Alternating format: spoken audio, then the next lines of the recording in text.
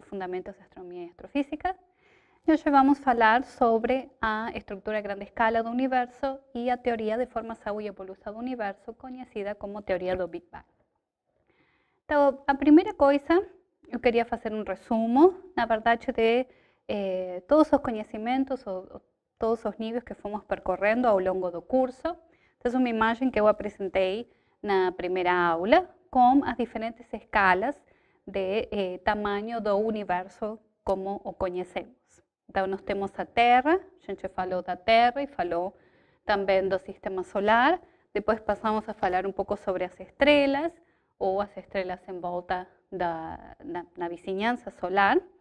E depois passamos para as galáxias, que são conjuntos de estrelas, os grupos de galáxias, os eh, superaglomerados, que eran conjuntos de eh, grupos e aglomerados, e a distribuição local dos superaglomerados. Então, os superaglomerados eram mais as estruturas de maior tamanho do universo, isso que forma a estrutura a grande escala do universo, e isto seria uma simulação, um mapa do universo a grande escala, ou do universo eh, observável, ou o universo que, que a gente pode observar. Como vocês podem ver, não parece ter muita estrutura, parece ser bastante eh, homogêneo. Então, estes são mais longe, vamos dizer assim, eh, que nós podemos observar. E justamente hoje vamos eu vou falar de esta escala que está aqui.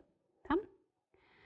Então, o primeiro passo para o estudo do universo a grande escala foi talvez a descoberta da expansão do universo pelas observações do Hubble e seu colaborador Humason em 1923. Então, Hubble estudava as galáxias, ele observava, Humason era seu, na verdade, quem fazia as observações.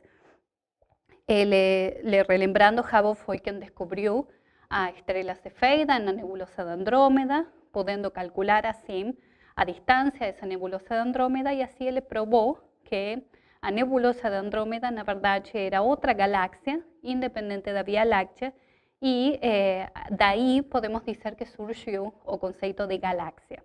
Tá? A partir de ali, nosso universo foi ficando cada vez maior. Mas ele conseguiu, continuou, eles continuaram observando galáxias, eles observavam o espectro das galáxias, com isso utilizando a teoria do efeito Doppler, do deslocamento das linhas do espectro para o azul, para o vermelho, eles conseguiram estimar a velocidade com que as galáxias principalmente estavam se afastando de nós, algumas estavam se aproximando, as que estavam mais perto, mas as que estavam mais longe, eh, praticamente todas essas galáxias estavam se afastando de nós, ou seja, eh, tínhamos um redshift, tínhamos um deslocamento para o no seu espectro.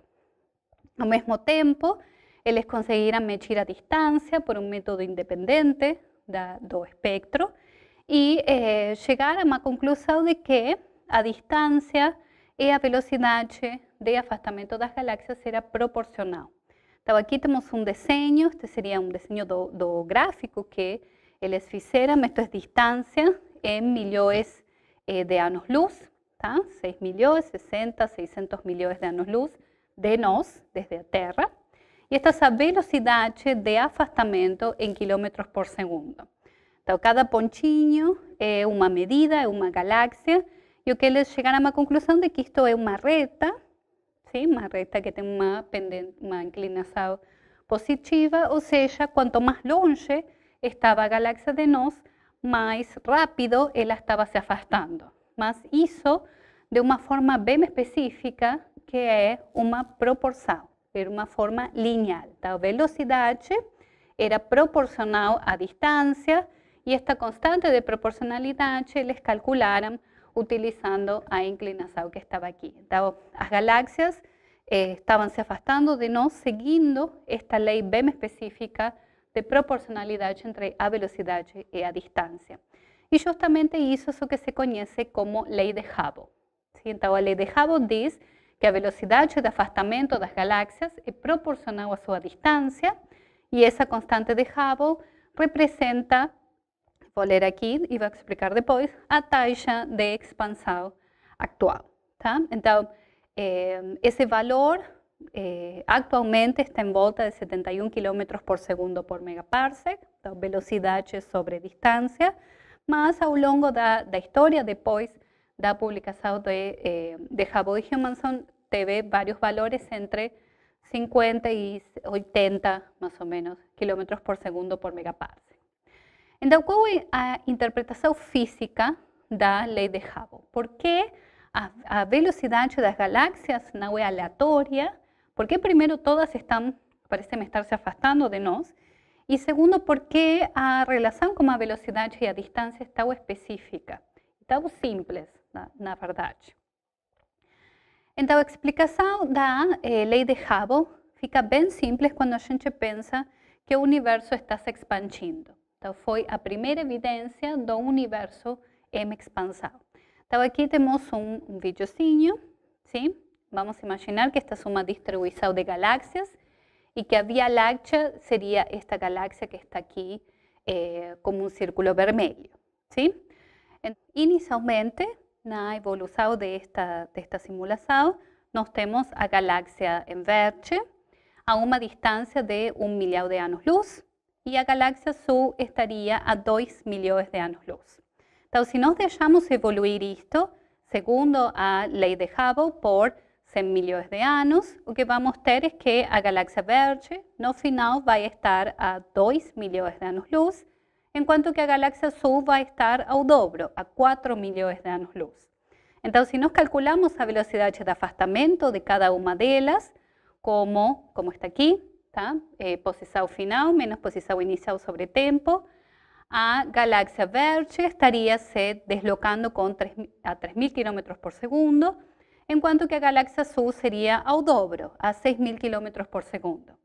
Então, vocês podem ver que facilmente se reproduz a lei de Hubble se nós pensamos que o universo está se que o espaço que contém todas essas galáxias está se expandindo. E uma coisa bem importante é que não existe uma galáxia de referência. Eu posso fazer o mesmo experimento considerando, em lugar da galáxia vermelha, a galáxia azul, por exemplo, como se veria essa, o movimento das outras galáxias, a expansão eh, do eh, que contém essas galáxias desde a galáxia azul e teríamos o mesmo resultado. Se a galáxia está ao dobro da distância, ela vai estar se afastando ao dobro da velocidade. Sim? Então, isso significa que não temos uma posição privilegiada no universo. Desde qualquer ponto do universo, nós conseguiríamos ver exatamente o mesmo efeito representado na lei de Hubble. Sim? O tamanho das galáxias, na verdade, isto é um efeito importante, um efeito a grande escala. Então, em princípio, o tamanho das galáxias não estaria mudando, a gravidade estaria mantendo todo mundo junto, mas sim o espaço entre as galáxias. Como a gente viu na aula de aglomerados de, de galáxias, de estrutura a grande escala, eh, nós vemos que a, a, matéria está organizada em filamentos, então está toda junta, mas temos grandes bolhas de vácuo. Então, todo esse espaço a grande escala estaria eh, experimentando esta expansão e, levando junto as galáxias. Tá? Então, voltando a eh, o fato de que não temos uma posição privilegiada, se não temos uma posição privilegiada no universo, isso significa que o universo não tem um centro, tá? as galáxias não é que estão se afastando de um ponto particular, senão que de qualquer ponto eu vejo as galáxias se afastando, e se o universo não tem um centro, eh, geométricamente não pode ter bordas. Então, em princípio, nosso universo, geometricamente falando, seria infinito no espaço, não teria bordas, então não teria um centro. E todo o universo a grande escala estaria, seria homogêneo, como a gente viu no primeiro slide. É, outra forma de ver isso é neste vídeo que está aqui.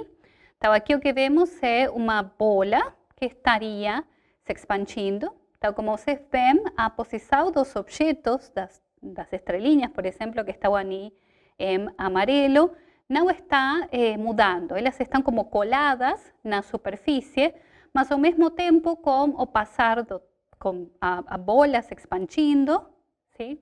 aumentando o tamaño de su superficie, nós podemos ver que a distância entre as duas, entre duas estrelinhas ou qualquer dessas estruturas aumenta. Então, de novo, as galáxias não estão se mexendo no espaço, senão o que está acontecendo é que elas estão sendo arrastradas pelo, pela expansão do espaço. Então, quando nós medimos a velocidade com que estão se afastando, esse redshift, não estamos medindo a velocidade da fonte, como a galáxia se movendo, sino que estamos medindo a taxa de expansão do universo. Sim? A gente pode pensar isso como, ou seja, como podemos ver movimento sem movimento? Fica uma coisa meio estranha. Bom, a gente pode pensar como, eh, nós pensamos assim, numa pessoa que está numa escada rolante, Então, a pessoa está parada na escala rolante e a escada está subindo. Então, essa pessoa está parada. Isso significa que a pessoa não está se deslocando pela escada. Ela está paradinha na escada. Mas, ao mesmo tempo, eu, que estou abaixo, estou vendo a pessoa se mexendo. Então, nós podemos pensar que a escada rolante seria nosso universo em expansão e, efetivamente, essa pessoa está se afastando e a velocidade de afastamento é justamente a velocidade da escada que está rolando. Sim? Então, a gente pode pensar um pouquinho assim, como eh, o que seria a expansão do universo. A pessoa não está se mexendo, a galáxia não está se movendo, mas a gente enxerga a galáxia se afastando por um efeito da expansão do espaço entre nós. Ok? Então, é uma, um efeito a grande escala, um efeito que a gente não vai ver no dia a dia, tá? Mas é um efeito que tem é,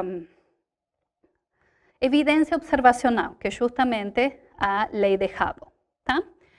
Então, o que seria esse redshift? Eu falei que o, no início se mediu o deslocamento, ou seja, a velocidade de deslocamento das galáxias utilizando a teoria do efeito Doppler. A teoria do efeito Doppler diz que a frequência da luz de uma fonte que está em movimento pode ser mais azul, mais aguda, ou mais vermelha, mais grave, dependendo se a fonte está vindo para, para nós ou se afastando. Então, sim, ah, de novo o exemplo do trem. Quando o trem está se aproximando, o som fica cada vez mais agudo, a frequência aumenta. Em termos de luz, isso significa que a luz fica mais azul. Então, se a fonte está se aproximando, a luz vai ficar mais azul. No caso contrário, quando o trem está se afastando, o som fica cada vez mais grave, a frequência fica cada vez mais pequena, ou seja, a luz fica cada vez mais vermelha. Então, se objeto se afasta, temos um deslocamento para o vermelho, se objeto se eh, aproxima, temos um deslocamento para o azul. Mas isso implica que a fonte, o trem, a galáxia, o que seja, tem que estar em movimento.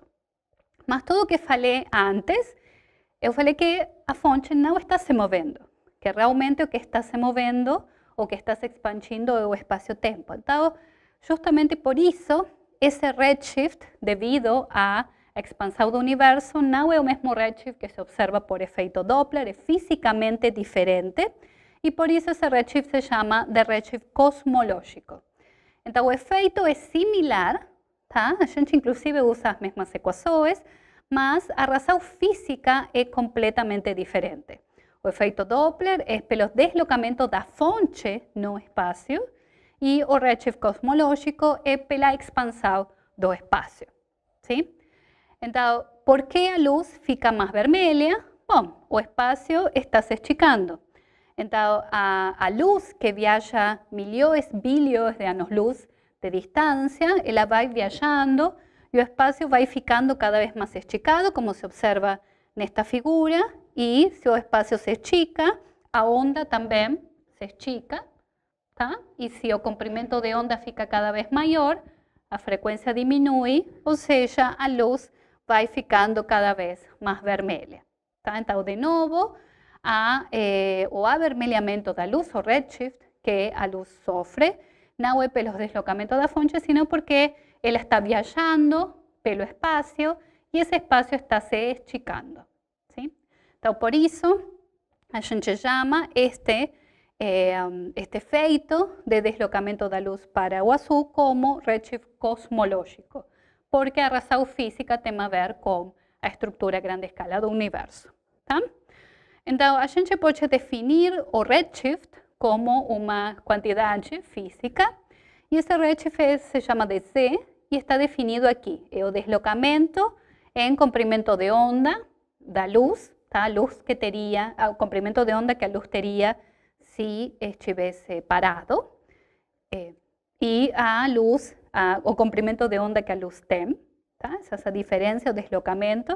A gente viu isso na aula de, de estrelas binárias.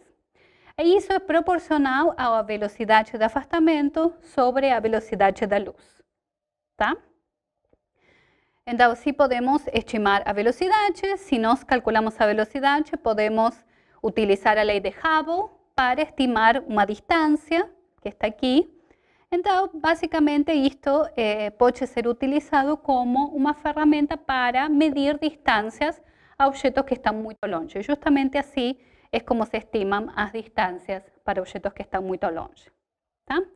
Obviamente, a gente tem que saber quanto vale este H0, que é a constante de Hubble, tá? É, e é uma, como toda constante na física, uma coisa que a gente tem que medir, porque a teoria não está dando um valor para isso. Além disso, se vocês eh, lembram, a lei de Hubble é uma lei completamente observacional. Não está saindo, em princípio, de nenhuma lei eh, física. ¿sí? No es como la ley de gravitación universal que sale de principios físicos.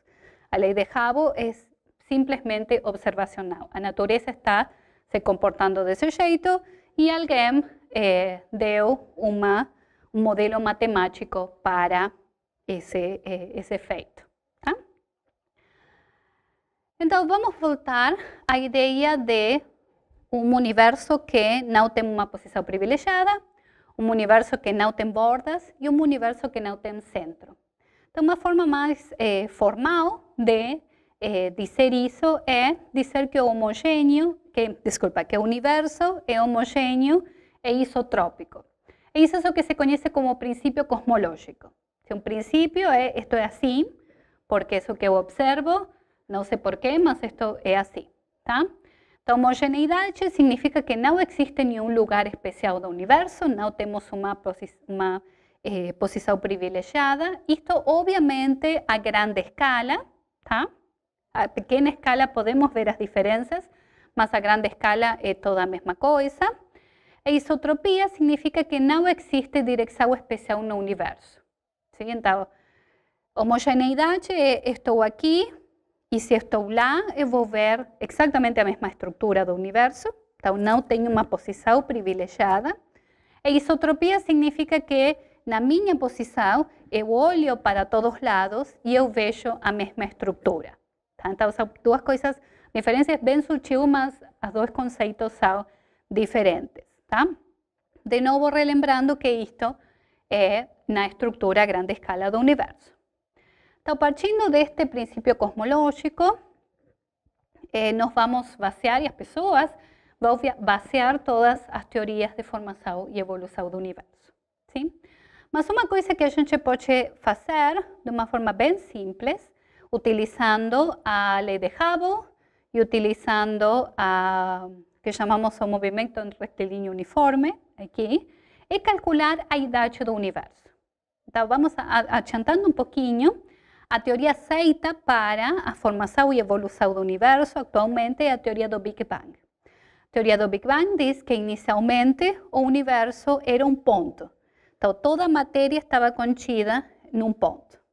E depois ele foi se expandindo, se expandindo, se expandindo, até que todo mundo ficou na posição que está hoje. Sim? Isso significa que em um tempo, que é justamente a idade do universo, a galáxia, que estaban todas juntinhas, ela foi se deslocando, se deslocando até ficar na posição que a gente enxerga hoje. Sim? Então, utilizando o movimento retilíneo uniforme, que significa que a velocidade de expansão do universo foi constante, seja, a velocidade com que a galáxia estava se afastando foi constante durante todo esse tempo, nós temos o tempo, vai ser igual a distância sobre velocidade, sim? isso é MRU. Mas a gente tem uma relação entre a velocidade e a distância que está dada pela lei de Hubble. Tá? Então, combinando as duas equações, aqui nós chegamos a este resultado, que a idade do universo, seja o tempo percorrido entre todas as galáxias juntinhas num ponto a a distribuição que temos hoje, é inversamente proporcional à constante de Hubble. Sim? T, idade do universo, é igual a 1 sobre H0. Então, a constante de Hubble não só é uma constante de proporcionalidade, não só é a taxa de expansão do universo, sino que também está relacionada com a idade do universo. Então, se nós conhecemos a lei de Hubble, nós podemos saber qual, que tão velho é o nosso universo. De novo, obviamente, nós temos que medir experimentalmente essa constante, porque as constantes físicas nunca são determinadas pela teoria. ¿sí? A massa do elétron, a massa eh, dos quarks, isso sai de eh, medidas experimentais e não da teoria. Mas é uma coisa boa, eh, porque podemos ter uma ideia boa de quanto vale a, a constante de Hubble e assim calcular a idade do universo. ¿sí? Perfeito. Então, a constante de Hubble está utilizando diferentes eh, técnicas, diferentes observações, estaria entre 75 e 70, eh, 57, desculpa, e 78 km por segundo por megaparsec. Isso passado a tempo dá entre 12 e 17 bilhões de anos, tá? Então, eh, isso é compatível com a idade das estrelas mais velhas do universo, por exemplo, que são as brancas, entre 12 e 14 bilhões de anos, mas atualmente o valor utilizado é em volta de 71 km por segundo por megaparsec, que sai da radiação cósmica de fundo, que agora eu vou falar, isso dá uma idade de 13,8 bilhões de anos. Tá? 13,78 e uns quantos números a mais, é, mas está em volta de 13,8 bilhões de anos. Essa idade de nosso universo. Sim? A gente parece, eh, parece muito, mas na verdade nosso universo é bastante eh, jovem. Okay? Então, sempre que nós queremos explicar ah, fisicamente o que está acontecendo, nós fazemos um modelo baseado em algumas hipóteses. ¿Sí? Eh, e o que estas pessoas fizeram foi justamente isso. Eles eh, plantearam diferentes eh, hipóteses e tentaram armar seu modelo de formação e evolução do universo. Então, obviamente, sempre temos eh, modelos opostos, sim? E eh, o caso da, do modelo de evolução, formação e evolução do universo não foi uma exceção. Então, estas três pessoas, Hermann Bondi, eh, Thomas Gold e Fred Hoyle, eles acreditavam numa hipótese do universo estacionário, que significa que o universo é assim, sempre foi assim e sempre vai ser assim. Então, o universo sempre eh, existiu, ele não teve um início, ele existiu sempre e ele muda como tempo. A grande escala, ele não muda como tempo, ele é imutável, estacionário, estático. Sim? Por outro lado, nós temos eh, Lemaitre, principalmente, que ele acreditava num universo evolutivo. Todo evolui no universo, então parecia razoável pensar que o universo mesmo também evoluiu. Então, o universo teve uma origem e ele foi evoluindo a partir dessa origem até o universo que, que temos hoje.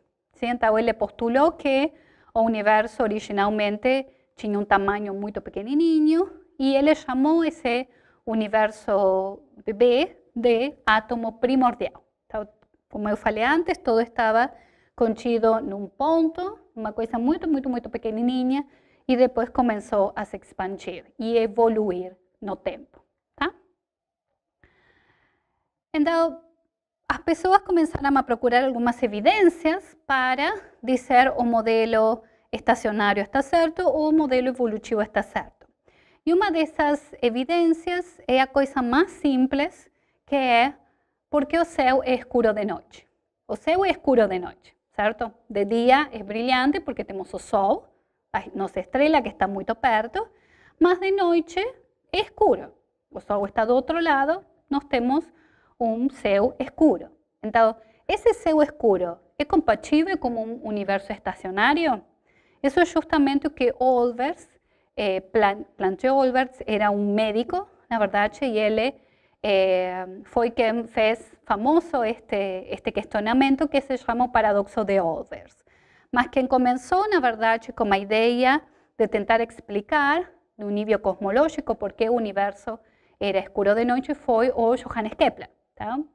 Kepler que fez as leis de, eh, de movimento dos planetas. Tá? Então todo mundo fazia tudo.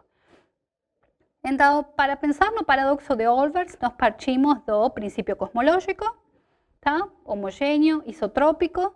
Então, a grande escala, todo o universo está preenchido em forma homogênea de galáxias, de coisas que emitem luz. Tá?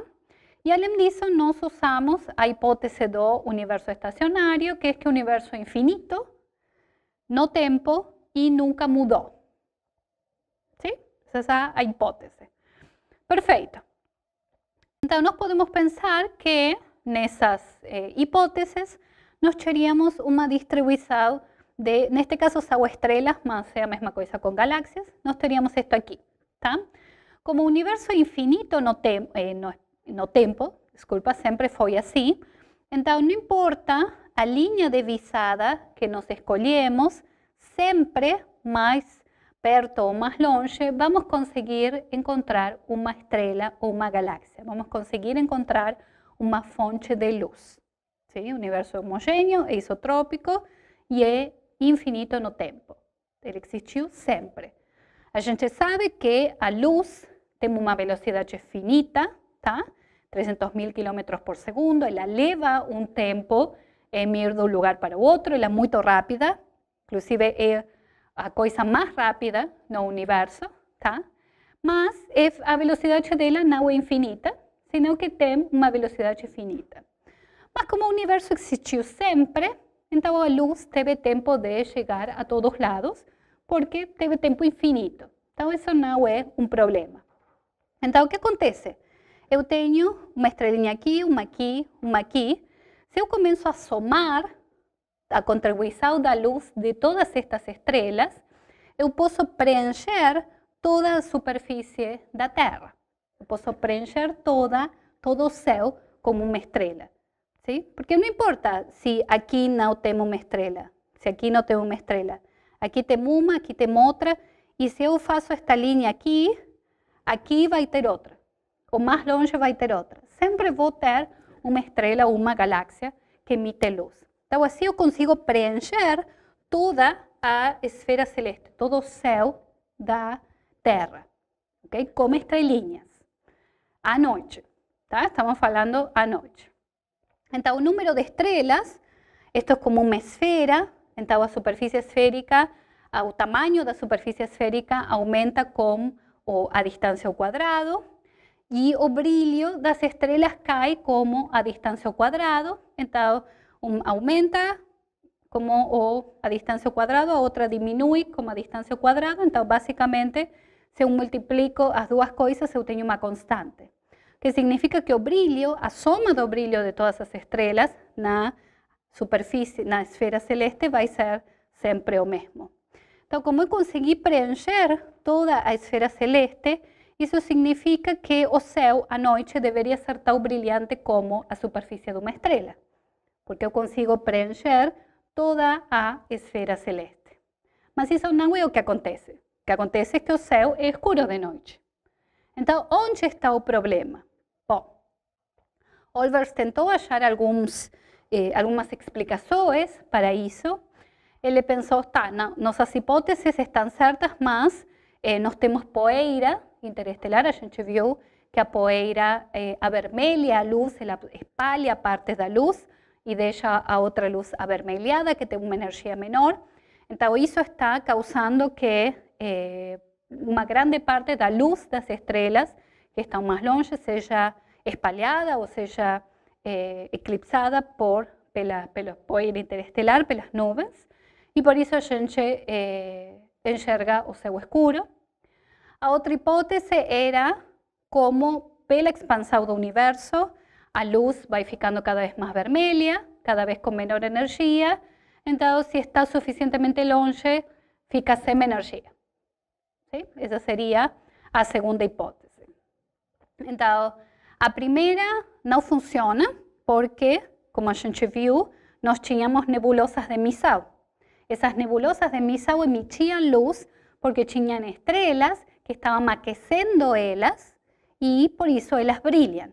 Então, se nós iluminamos uma nuvem de poeira por infinitos anos com fótons de estrelas, essa nuvem vai se aquecer e vai começar a emitir luz.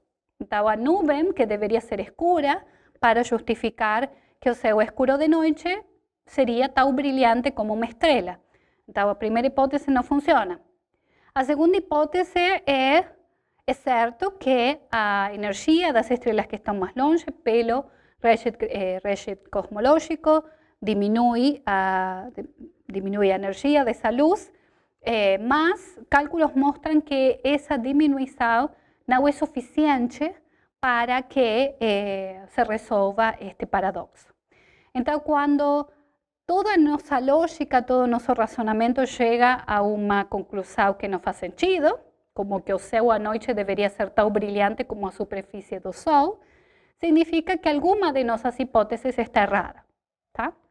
Então, ali, a hipótese que está errada é que o universo não existiu sempre. O universo não é estacionário. Sim? O universo teve uma origem, então o que acontece? Se o universo teve um início, significa que a luz não teve tempo infinito para chegar a todos lados.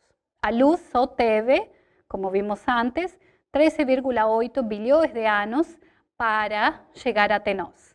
Então, as fontes que estariam mais longe que 13,8 bilhões de anos-luz de distância, a luz dessas fontes ainda não teve tempo de chegar até nós. Então, a gente não pode preencher todo o céu porque vamos ter algumas direções no céu onde não enxergamos nada. Sim? Então, a, a combinação de uma luz que tem uma velocidade finita e um universo que tem uma idade finita, isso resolve o paradoxo de Olbers e justamente justifica porque o céu é escuro de noite. Sim? Então, o paradoxo de Olbers é outra evidência de um universo evolucionário, um universo que teve uma origem, que nasceu em algum momento e que depois foi evoluindo a o que hoje a que conhecemos hoje, tá? Então, é, vamos fazer uma pausa agora e depois vamos continuar com a teoria aceita para a formação e evolução do universo, que é justamente conhecida como a teoria do Big Bang.